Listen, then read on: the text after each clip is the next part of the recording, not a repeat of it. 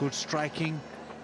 And he tries it, goes leg side, fielder running back, fielder running in, and the one in the right direction takes the catch.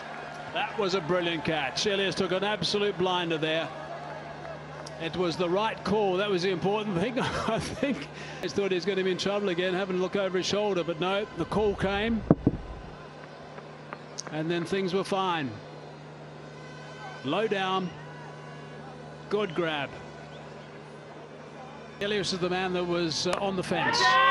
And it's far easier for someone to come off the fence and take these sort of catches. But he's got a call nice and early, which clearly he did.